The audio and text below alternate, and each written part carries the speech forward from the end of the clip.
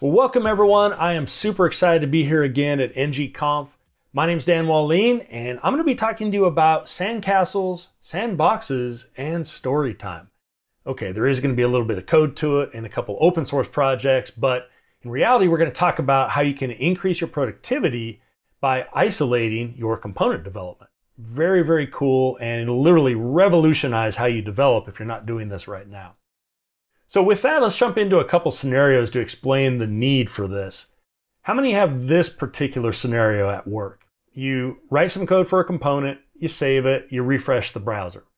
Okay, everything's good so far, but your component's a child component. It's several levels down, so you have to drill down or filter or page or do something to get to it. You finally get to it, only to realize you messed something up. Oops, I need to fix an issue. So let's repeat. And then we go back to step one and we do it all over again. And the reason we have to do this is we're loading the entire app usually, not just the component we're working on, but the entire app. Or maybe some of you have this scenario. You're building the Sandcastle application, but your part of the app is just the top. All right, you're building that little guy right there. There's no foundation yet. The parent components, the services, all that stuff, it's not even built yet other teams or other people are working on that, maybe on your team, what do you do? Well, there's always workarounds. We can always start and start mocking things, but then you're going to have to go in and plug it in later and then work with the components and of the parents and it gets kind of messy and things. So, what if there was a better way? What if we could actually be more productive by building components in isolation? And we can. That's what I'm going to talk to you about. So the first thing we're going to discuss is something called Angular Playground. This is from some friends of mine at SoCreate. It's an open source project. Uh, they've been using it for years. I've been using it for a couple years, and it is just awesome. It's a great way to get started building components in isolation. So let me walk you through it. So this is an open source tool for building enterprise Angular components, directives, and pipes in isolation. That's the kind of big two words right there, in isolation. So you can go to angularplayground.it to get more information, but I'm going to introduce it to you here, and I'm going to show you how you can get started using it. Now, before we do that, let me show you what it can do because it's one of those seeing is believing type of things. So I'm going to come on over to VS Code, and I have my browser loaded. Now, I've already run a Angular Playground command, which we're going to talk about momentarily, but you'll notice in the code I have this thing called a sandbox. So I'm importing this sandbox of and I have the sandbox of about component, which is the component I would like to work with. Now that particular component, if we just go to the about component HTML, it's pretty hard coded. All right, it doesn't have inputs, doesn't use injected services, none of that. So what I'm going to do is over here, I've already loaded Angular Playground, and you'll notice some hotkeys, Control P or F2. So I'm going to go ahead and do that. And I'm going to get to this about component sandbox. Now, the sandbox lets me actually do live development against just this component. Notice I'm not loading the entire app. In fact, up top, you'll notice the scenario, and that's what this is referred to, is this is the about scenario. I can actually ship that to production as well, and I can even embed that URL with like an iframe into documentation if I wanted. All kinds of cool things you could do here. Now to show this, I can come in and say about us. I'll go ahead and save it. And boom, it updates live. Just like we would expect loading the normal app, but I'm only loading that one component. So it's super, super fast. It's, it's just great to work with once you get used to it. And then we're like, nah, I just like about. So we'll go ahead and put that back in and there we go. Now I could also switch over to some others.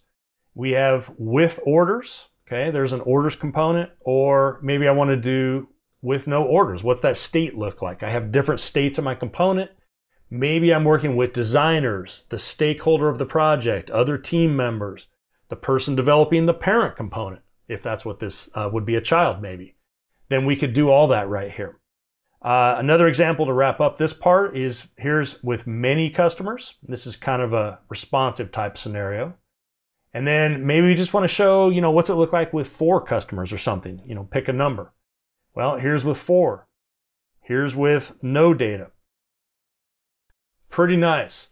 So I could go to that sandbox as well. This is a customer card component. So let's go to customers card. Here's the component itself, and notice it has some customers that need passed in. Pretty simple. It's kind of a, if you're in a container presentation type of architecture, this would be the presentation type component. So let me go to the sandbox for this. You'll see customers card component sandbox. And just like you saw before, we have this sandbox of and the component, but I have a second parameter here to pass some configuration because this one's not so simple. There's some injectables, there's some other modules I need, all that fun stuff. So what I can do then is import the modules I need that have all that service type functionality. There's my core, that has my core services. Here's some router testing functionality because if I go back to this, you'll notice that uh, it has some routing right here and here. So we're going to inject kind of a fake version of that. And then we create the actual sandbox. So here's sandbox of, here's with all the customers. And what I've done is I've loaded some fake customer data. So we pass that in as the context to our sandbox template. So whatever we add here, that's actually what shows up when I do the hotkey. So let's go ahead and do that again. And notice these uh, labels here, you could say. Well, this customer's car component is kind of the top level, and then this with many customers, that's that one. With 10 customers, that's that one, and you get the idea. So scrolling on down, how do I do with 10? Well, it's really the same thing. I'm just going to slice it down to 10 or slice it down to 4. But notice with all these, I'm doing normal input binding, just like we would do. I also have with no customers being passed in, and that's the state you see right here without customers. Now, what's so great about this is not only can I develop against that one component, not load the whole app, so I don't have to waste time drilling down, but I can also now share this easily for docs. I can work with customers on this to make sure that one component I'm working with is isolated. We could style it more easily, things like that. So as you've seen, we have a sandbox, we add a component to the sandbox, and then it's kind of up to us to shovel in whatever that component needs. It could be declarations for child components, could be modules, could be the actual input property data like the customers I showed earlier. That's kind of on you to make sure it has all the data. It's very similar to when you write a unit test where you have to mock some things. Now, in addition to this, once we have that, to get started, here's all you have to do. You'll do ng add angular playground. That'll add all the files that you need and get you ready to go, including some scripts that you can have in package.json to run this. Then you build sandboxes. So if you want to develop a component in isolation, it needs a sandbox. We do ng generate angular playground sandbox, and then you give it the path to your component that you're working on. So if you've used the Angular CLI, which probably just about all of you have, this will be very comfortable to you and familiar. Now, once you have that sandbox of, you've added your scenarios, they're called, into the sandbox. That's your different states of the data. Then you can run it, and all you have to do is npm run playground, and that's going to launch a script that they add to package.json, and you're ready to go. And then you'd see exactly what I showed you in the browser earlier. So that's Angular Playground, and it's a great way to get started isolating your components so that you can work with them directly. You don't have to load the whole app. Very productive once you get the hang of it. Now there is another option I'm going to go through as well, and that's Storybook. Now Storybook's very similar in that you can develop components in isolation, you can have different stories, not scenarios in this case. So let's walk through how we would get started with that. Well, Storybook gives you a little bit more of a, a UI. It's basically a web app you get. And on the left here, you're going to notice that we have charts and some other things. These are categories for different components we can run in isolation. Now, what's nice is you get this component catalog on the left. In the middle, you're going to have your components, so you can click on the different ones you want. And then down on the bottom, they have a ton of what they call add-ons. Uh, you can add on controls where I can actually tweak like the input properties right here in the browser and see how that affects the component. Now to get started with this is very simple. You can run this npx-p command, Storybook CLI, and then initialize it as a type of Angular.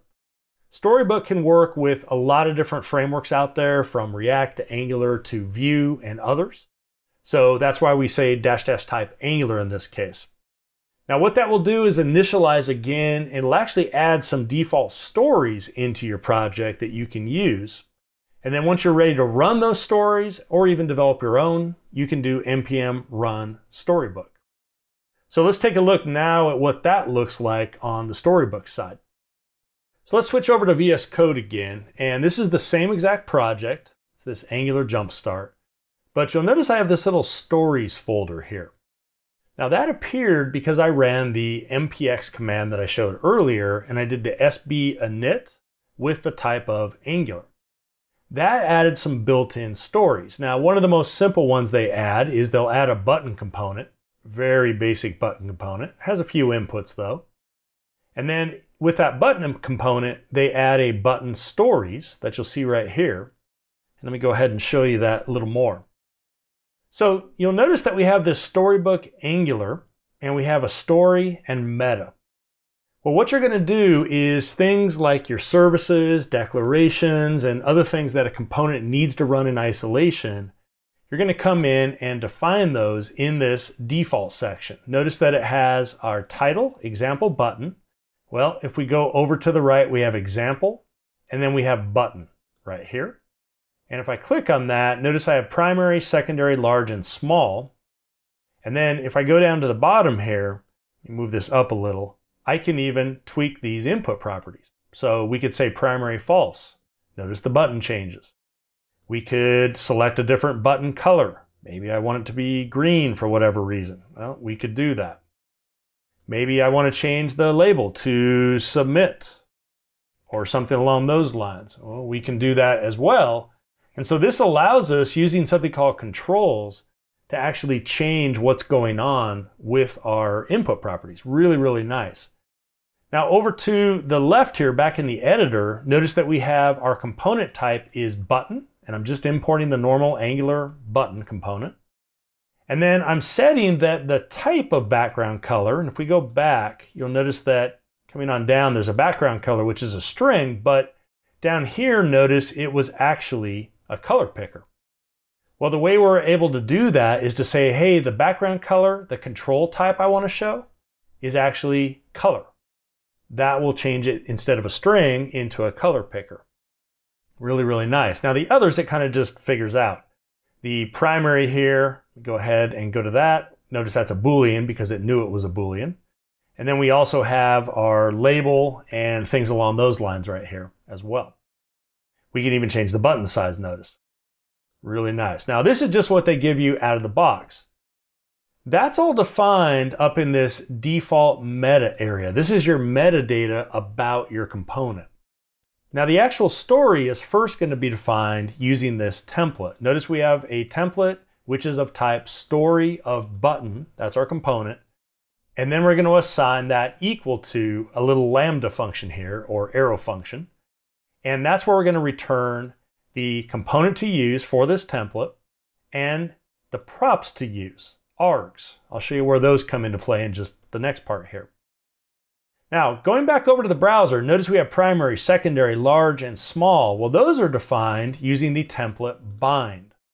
This is how we're going to set up the template. Here's our primary, and now we're going to pass in arguments. These are the inputs for the primary input and the label input. And again, going back to the component, Notice that we have a primary input property, and there's our label input property. So now we're going to pass those in using this args. Now that is what renders this right here. For secondary, you'll notice that we have a different background color for the button and things. Well, secondary, we didn't say primary true, so it's primary false, you'll notice. And then you'll notice the label is button again. For the large that we see over here to the right, you'll notice that we have size is large. Everything else is the same, and then small, we have the same type of setup right here. So you can see that's really, really easy. Now, let me show you a little more custom one. Remember earlier, we had an about and it was kind of hard coded. Well, we can go to the about stories I made and you'll notice that I've imported the about component. That's about it right there. But I've also imported in the metadata section this decorators and I have module metadata. Common module was used here. Okay, really basic in this example. Now notice I have my template again for story about component. We have our arrow function for the about component, and then I have that component and the props for it. Now this one doesn't have any props, so it's extremely basic. So all I do is say template.bind, I call it about, and I didn't give it any arguments because there are no input properties. Now over here to the left, you'll notice on about, there's my about component, but if we go to this in isolation, Let's just type about here, find about component HTML, change that again to about us, save, it updates. So very similar to Angular Playground in that regard. We'll go ahead and save, and we're back to here. To wrap up, I can also come on down to another story I set up, and this is for the customer card that we looked at earlier. Now this one is on the left, you'll see customer cards, and it just displays a bunch of customers. In fact, all the customers, and these are all mocked customers again. I mentioned this in the Angular Playground one. Well, this one's a little more involved because the component itself, in addition to the common module, we need the router testing and the shared module. Now, because of that, we also need providers. Here's our track by service, and this is actually injected into the constructor of this customer's car component. So if you're going, oh, this looks a lot like some of the things I might do in a unit test, you'd be right. In some regards, it is. We're just setting up the infrastructure, kind of bootstrapping what the component needs. Now, just like we did earlier, we're going to have our template, but this time it's our customer's card component. That's going to be passed in through this arrow function. We define it, and then we have our args. Now, the args in this case do matter because this has an input property and the input property is called customers. So what we're going to do is say, all right, let's bind to that template. I'm going to call it customer cards. That's where this one on the right comes from, customer cards. And then for the arguments going to be passed in, well, I have an input property called customers. So I'm going to pass in the actual customer's data that I have. Now, what if we wanted to come in and do the same thing, but for maybe 10 customers? Well, just like I showed earlier, we could do that, but we could say customers dot slice, get rid of that, and we could say 0, comma 10 as an example. Maybe we'll call this customer cards 10, customer cards 10, save, and there we go. So now I could see 10 total customers, or maybe, you know, I want four of them. Well, we can create these different stories by simply changing this. Let's change that to four and four. And then we'll change this to four right here. And there we go. We now have a customer's cards four, and there's our four customers. And then finally, of course, if we want, let me just duplicate this down real quick.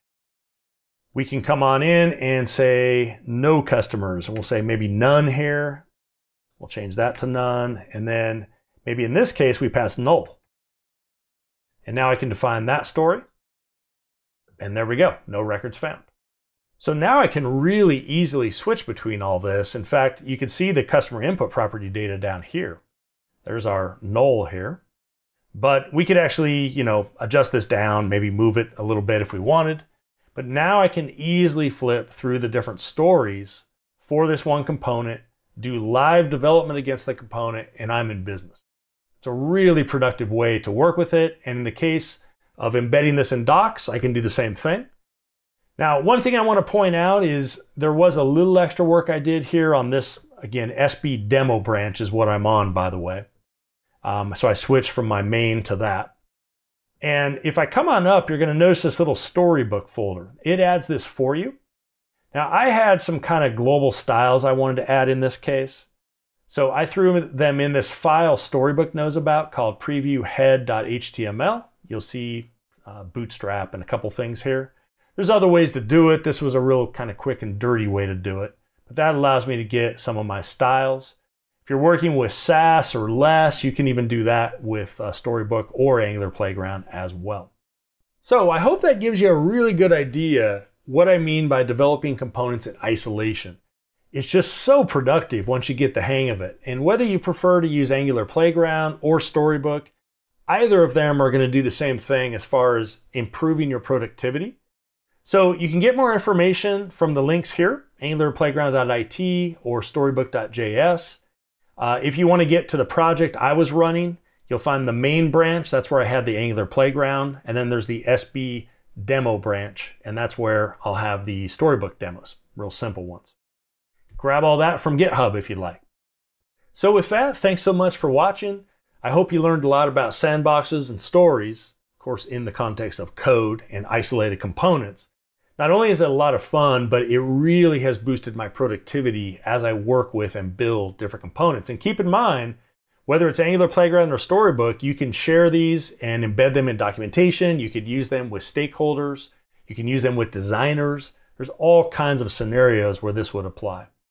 So thanks again for watching, and I hope you get a chance to try this out.